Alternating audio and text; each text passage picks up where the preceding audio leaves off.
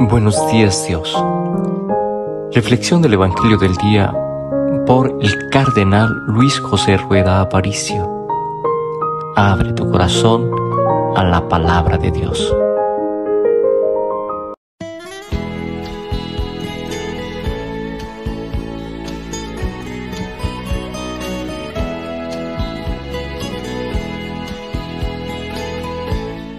En el nombre del Padre y del Hijo y del Espíritu Santo. Amén.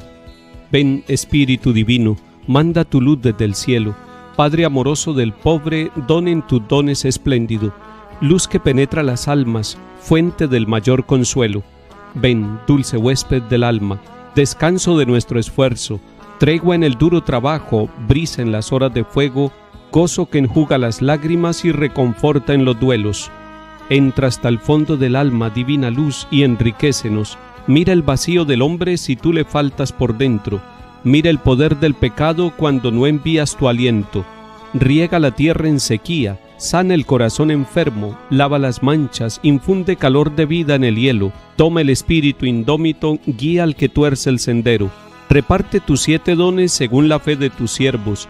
Por tu bondad y tu gracia, dale al esfuerzo su mérito salva al que busca salvarse y danos tu gozo eterno. Amén. Lectura del libro de los Hechos de los Apóstoles capítulo 19. Mientras Apolo estaba en Corinto, Pablo atravesó la meseta y llegó a Éfeso. Allí encontró unos discípulos y les preguntó, ¿recibieron el Espíritu Santo al aceptar la fe? Contestaron, ni siquiera hemos oído hablar de un Espíritu Santo. Pablo les volvió a preguntar, entonces, ¿qué bautismo han recibido? Respondieron, el bautismo de Juan. Pablo les dijo, el bautismo de Juan era signo de conversión, y él decía al pueblo que creyera en el que iba a venir después, es decir, en Jesús. Al oír esto, se bautizaron en el nombre del Señor Jesús. Cuando Pablo les impuso las manos, bajó sobre ellos el Espíritu Santo y se pusieron a hablar en lenguas y a profetizar. Eran un total de doce hombres, Pablo fue a la sinagoga y durante tres meses habló en público del reino de Dios tratando de persuadirlos. Palabra de Dios. Te alabamos, Señor.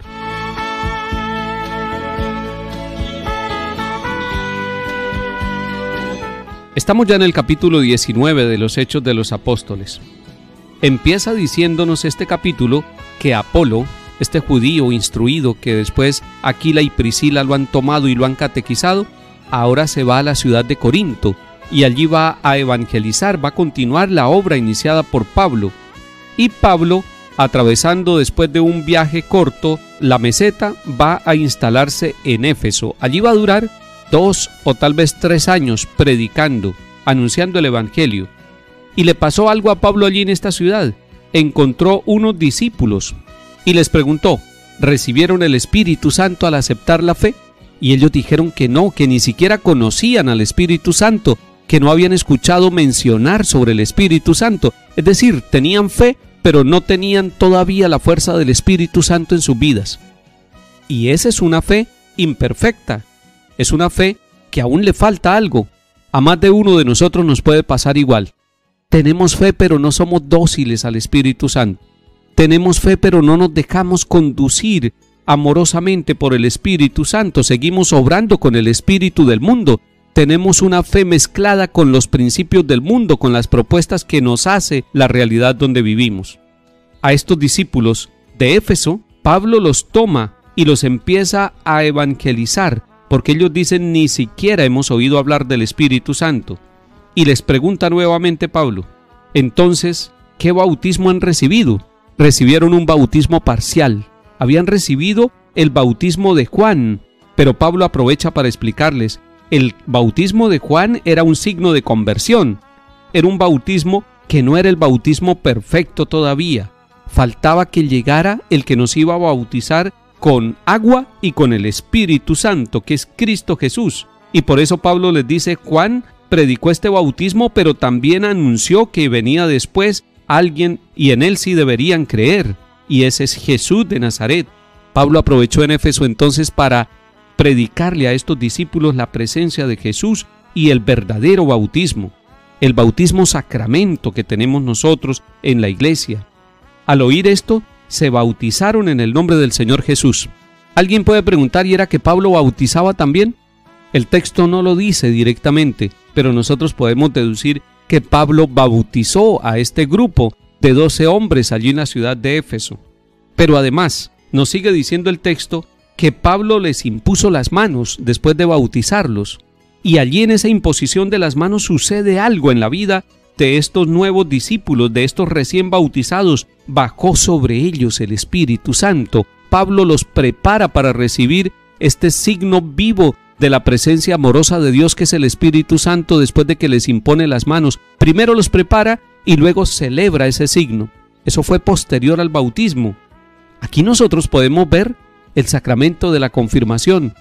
Primero Pablo los bautiza y luego les impone las manos para confirmar en ellos la presencia de Jesús por obra del Espíritu Santo. Descendió sobre ellos la acción viva del Espíritu Santo.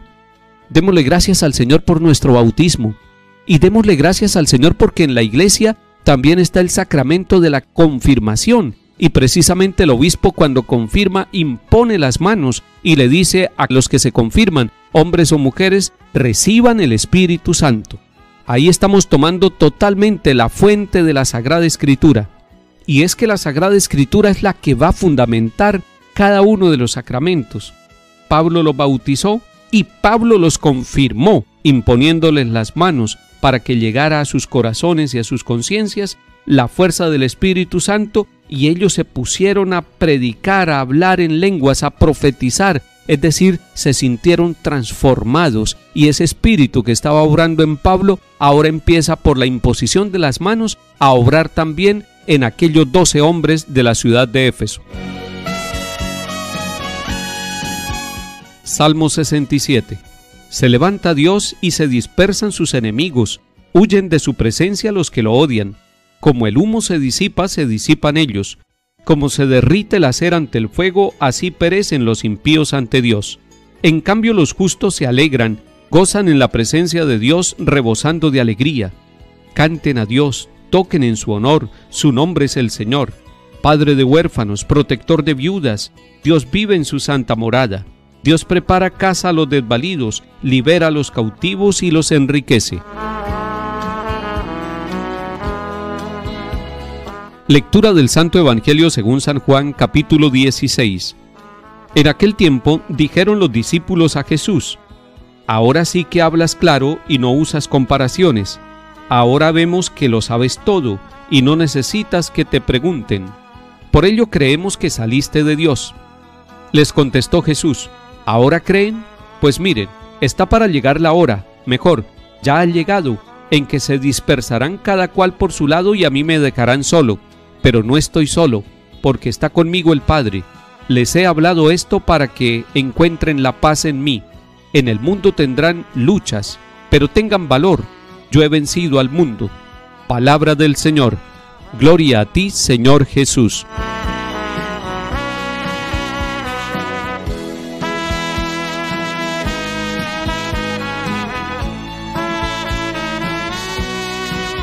Quisiera que centráramos la atención solamente en el versículo 33 de este capítulo 16, es decir, en Juan 16:33.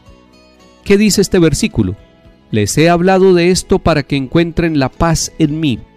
O sea, todo lo que habla Jesús a sus discípulos y lo que nos habla hoy a través de su palabra, lo que nos habla a través de la iglesia, lo que nos habla a través de los acontecimientos de la vida, es para que usted y yo, para que todos encontremos la paz en Cristo y Él nos ha dicho, no les doy la paz como la da el mundo. Mi paz les dejo, mi paz les doy. Pero además nos dice, como le dijo a los discípulos, en el mundo tendrán luchas. La palabra luchas la podemos cambiar por sufrimientos, por tribulaciones. En el mundo tendrán sufrimientos, en el mundo tendrán tribulaciones, en el mundo tendrán luchas. Y todos nosotros tenemos luchas en el mundo. Y alguien puede preguntar, ¿y qué es el mundo? ¿El mundo es el planeta? Sí, el mundo es el planeta, pero el mundo son las personas, pero el mundo son las realidades que nos rodean a nosotros permanentemente. En el sitio donde vivimos, allá donde vayamos, tendremos sufrimientos, es lo que nos está diciendo el Señor Jesús.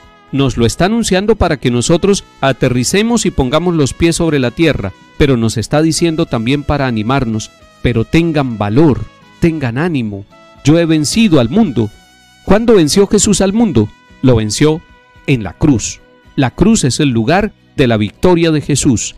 El mal fue vencido en la cruz de Jesús. Mirando la cruz encontramos la fortaleza y el valor para afrontar las luchas y las pruebas que tenemos en nuestra vida.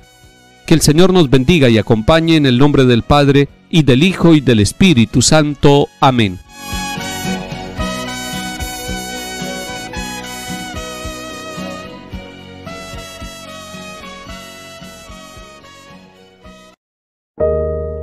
Buenos días Dios.